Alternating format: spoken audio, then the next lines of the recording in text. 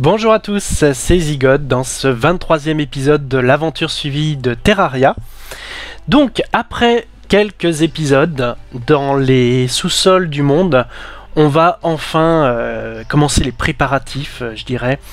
Enfin, au moins aborder déjà un petit peu plus la, corruption pour, euh, eh bien à terme, bien évidemment, battre le Eater of World, qui est, on va dire, le deuxième boss du jeu après l'œil de Cthulhu. Donc pour ça, quelques, petites choses à savoir avant. Le Eater of World maintenant ne peut s'invoquer qu'au-dessus de la, de la corruption. Hein, vous êtes obligatoirement euh, tenu d'être dans la corruption pour pouvoir l'affronter, enfin pour l'invoquer, l'affronter, le battre, etc. Sinon il disparaît. Ensuite, il y a deux moyens d'avoir euh, le Eater of World, soit de, l'invoquer selon une recette de craft, euh, particulière, avec des ingrédients qu'on ne retrouve bien sûr que dans la corruption. Sinon, la deuxième possibilité, c'est en brisant les, orbes, les orbes que vous trouvez justement dans, au fin fond des trous de la corruption. À peu près toutes les, trois orbes détruites, vous avez le Eater of World qui apparaît. Le plus souvent, il apparaît euh, à la troisième orbe détruite. La première vous donne souvent euh, une arme, ça, c'est une observation personnelle. Après, c'est pas forcément une généralité. Donc, le premier vous donne souvent une arme, soit un musket, soit un Viltorn. Le deuxième fait tomber une météorite, et parfois donne aussi une, arme.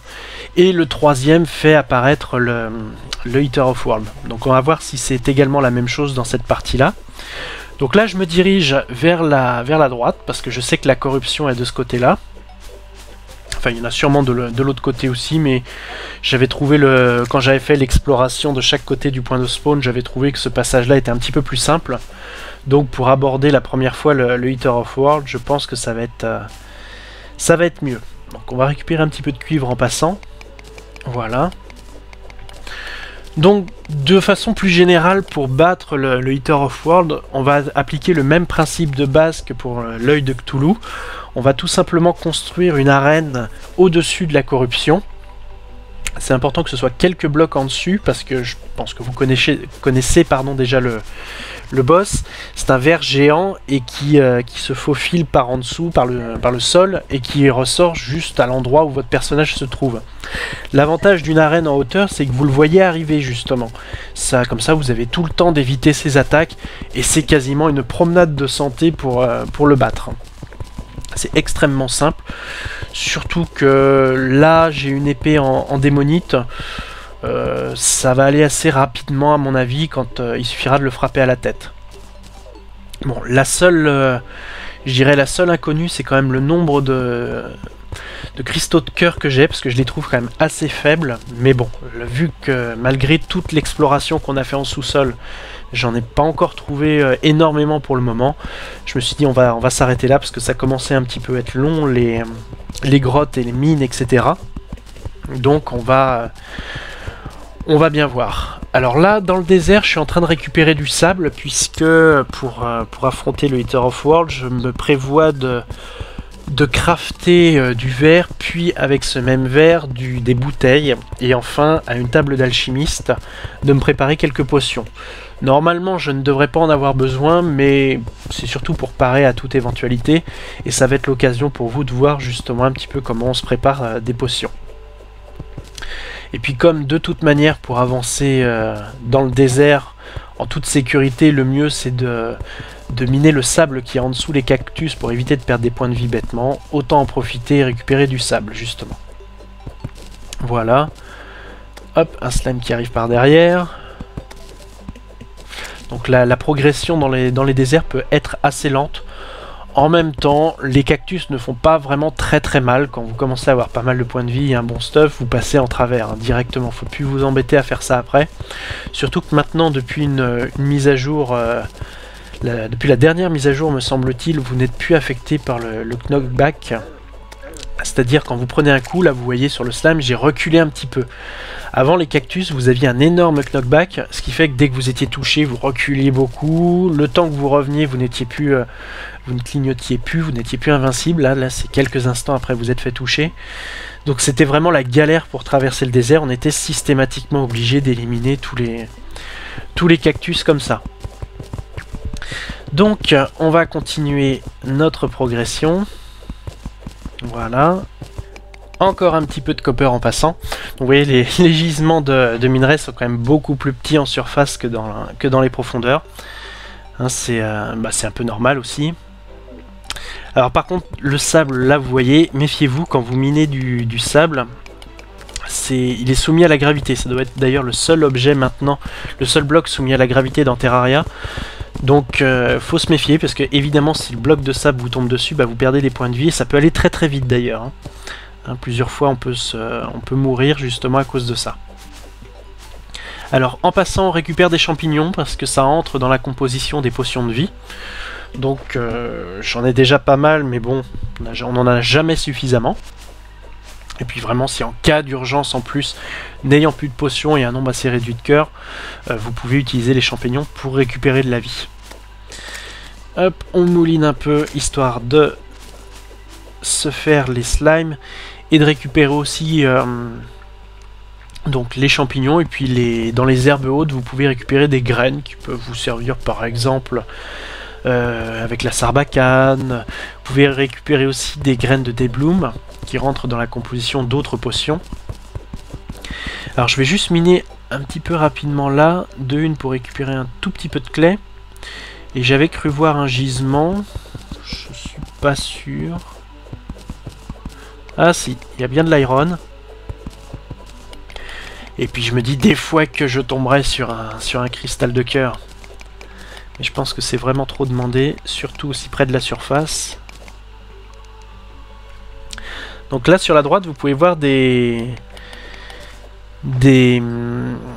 Zut, comment ça s'appelle déjà? Des... Démons Saltair je crois, des... Non, c'est pas des forges de l'enfer. C'est des hôtels du démon, voilà. Hein, qui vous permettent de crafter certaines items dites démoniaques dans Terraria. Alors on tombe en plus sur un coffre. Pas grand chose, un coffre, euh, coffre de bois, donc euh, ça contient pas énormément de, de stuff, c'est pas grave, c'est déjà ça de prix, et puis ça fera un coffre supplémentaire pour ma future salle des coffres, justement, ça m'évitera d'en crafter d'autres. Alors là on voit de la démonite à l'état pur sur la droite, je veux juste vérifier qu'il n'y ait pas d'autres minerais non plus en passant. Ça n'a pas l'air. Donc là on voit la... une plante là qui s'illumine permet de voir un petit peu où on va, c'est déjà ça de gagner. Je vais respirer un petit peu, voilà.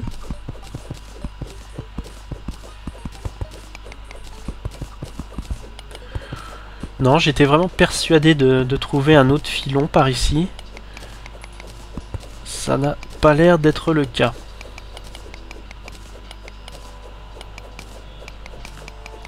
Bon, à mon avis, je vais pas pouvoir aller miner très loin. Je pense vraiment que la corruption, là, est pas loin du tout. Ah bah oui, voilà. On commence à voir les, les bowstones que je ne pourrais pas miner avec cette pioche-là. Tant pis. Donc on va remonter rapidement pour pouvoir continuer à avancer vers la corruption. J'aimerais bien remonter. voilà. Alors c'était par ici, me semble-t-il. Hop, parfait.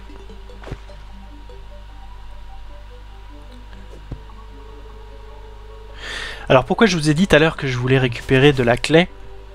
Euh, Je ne sais plus si je vous avais déjà expliqué, c'est que la clé permet de, faire des, pots, puisque la clé c'est de l'argile en fait, ça vous permet de faire des pots pour vos futures euh, cultures de plantes. Hein, ça servira pour les potions. Donc, vous voyez que le fond de l'écran la change de couleur. Ça signifie bien qu'on arrive dans la corruption. Donc, euh, voilà, on retrouve le, nouveau biome de, corruption avec les arbres de couleur mauve pour indiquer qu'ils sont, euh, sont corrompus, justement. Voilà, donc vous voyez, la corruption se fait, euh, est constituée comme ça. Vous avez des, de l'ebostone qui sert à faire le sol et de nombreux trous plus ou moins profonds. Souvent plus que moins d'ailleurs, à savoir qu'une chute dedans vous sera souvent fatale. avec parfois au fond des trous des, orbes démoniaques. Et ce sont ces orbes qu'il faut casser pour justement euh, récupérer des items assez puissantes, ma foi, pour, euh, pour faire apparaître des météorites, et puis pour faire apparaître juste, surtout le Eater of World. Donc c'est pas systématique, hein, comme je vous le disais tout à l'heure. C'est à chaque météorite que vous, pardon, à chaque orbe que vous détruirez, vous n'aurez pas systématiquement une météorite qui tombera. Hein. C'est c'est aléatoire, c'est euh, une sur trois, je crois. L'ensemble des des drops, enfin des, des événements liés aux orbes, je crois que c'est une fois sur trois. Ah, enfin, c'est pas trop tôt. Enfin un cristal de cœur. Alors depuis le temps que je l'attends celui-là. C'est vraiment très appréciable. Je vais enfin pouvoir euh, avoir assez de, vie, j'estime en tout cas, pour, euh, battre le Eater of World. Alors qui sait, parfois quand on a un cristal de cœur, on en trouve un autre, avec un peu de chance. Ah, bah déjà un coffre. Bon, là c'est un boomerang magique, j'ai au moins un petit peu de, de ressources dedans. On va bien évidemment le récupérer. Alors, qu'est-ce que nous avons d'autre par ici? Des jarres, des jarres. Encore des jarres. Ah, parfait Encore un. Ah, ça c'est vraiment génial. Alors, euh, pourquoi je le récupère? Ah bah oui, mon inventaire est plein, évidemment. Euh, on va faire un petit peu de place. Voilà. Ah, ça fait vraiment très plaisir de retrouver ça. Voilà, la vie augmente. Bon, on est un petit peu embêté par les par les Eater of Soul. On va dire des versions miniatures des, de la tête du Eater of World. Voilà. Alors, je vais essayer de continuer par là. Histoire d'être sûr que je ne loupe rien. Il y a énormément d'hôtels démoniaques en tout cas. Alors n'essayez surtout pas de les frapper à coups de marteau parce que ça vous enlèvera pas mal de points de vie. Hein. Hein, laissez-les où ils sont, ils ne sont pas transportables. D'accord. Oh, par contre, j'ai complètement oublié de prendre de la dynamite. Euh, puisque je ne peux pas miner les bowstones, la seule manière de faire pour l'instant, c'est d'y aller à coups de dynamite. Hein. C'est ce qu'on appelle du minage assez efficace, mais je ne l'ai pas sur moi. Donc je vais juste finir de d'arpenter un petit peu les couloirs de, de la corruption. Voilà, je vais vérifier en fait quelque chose. Je suis en train de faire un petit peu de repérage aussi pour... Euh, pour comment dire, pour l'affrontement avec le boss, ce qu'il faudra un couloir qui soit simple à remonter. Parce qu'une fois que vous aurez brisé l'orbe démoniaque, il faudra que vous, que vous remontiez rapidement dans votre arène. Et ça, c'est un, petit peu, euh, un petit peu risqué avec le boss aux trousses. Donc, il faut préparer un peu le terrain, couloir assez droit, qui remonte assez rapidement. Et puis, donc, bah, des... le mieux étant de mettre des plateformes. En combinant les plateformes et le grappin, ça se fait assez, euh, assez rapidement. Voilà, petite transition pour se retrouver à la maison. Donc là, ce que je prépare, bah, c'est tout simplement euh, l'inventaire pour l'affrontement avec le... Enfin, l'affrontement.